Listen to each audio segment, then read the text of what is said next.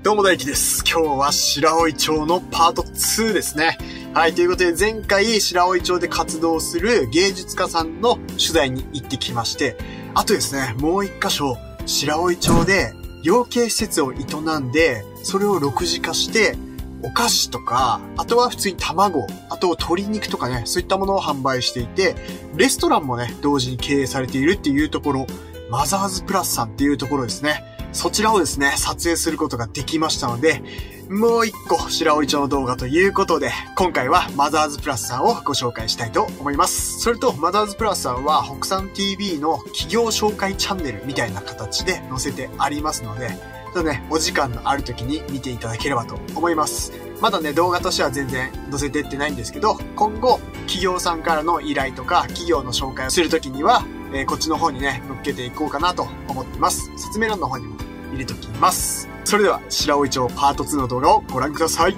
どうぞ。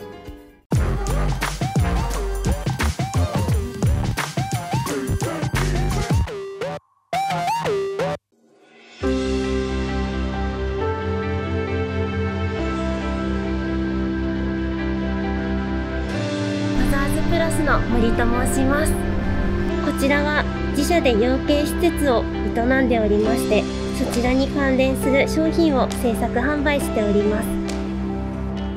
当店自慢のクッキーシュークリームになります。シンプルなシュー生地とは違い生地がサクサクとした食感で自社の卵をたっぷり使った濃厚なカスタードクリームを入れており毎日焼きたてで店頭にお出ししております。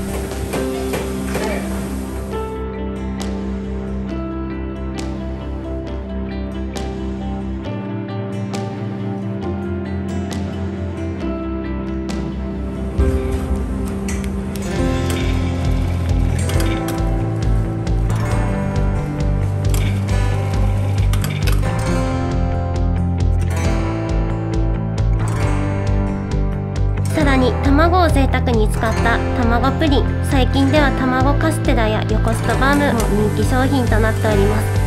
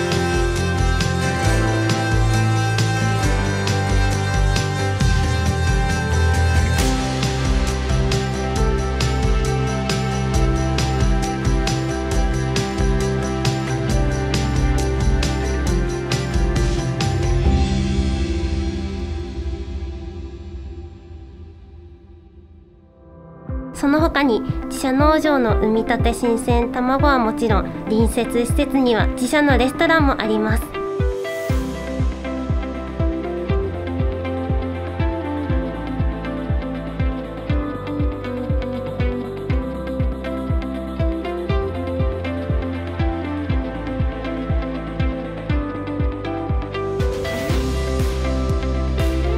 の方はいろいろなお客様にお買い求めしやすいように4個入れパックから人気の10個入れ20個入れ最大で160個まで店頭でのお買い求めが可能となっております。また全国にも発送しており最大120個まで対応しております。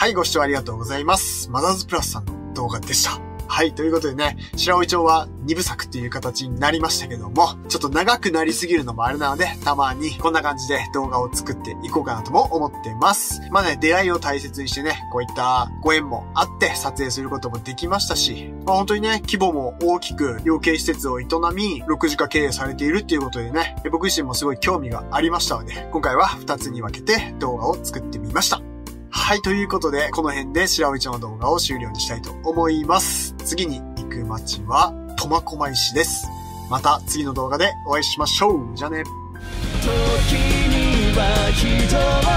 愛することあるだろう少し大きな背中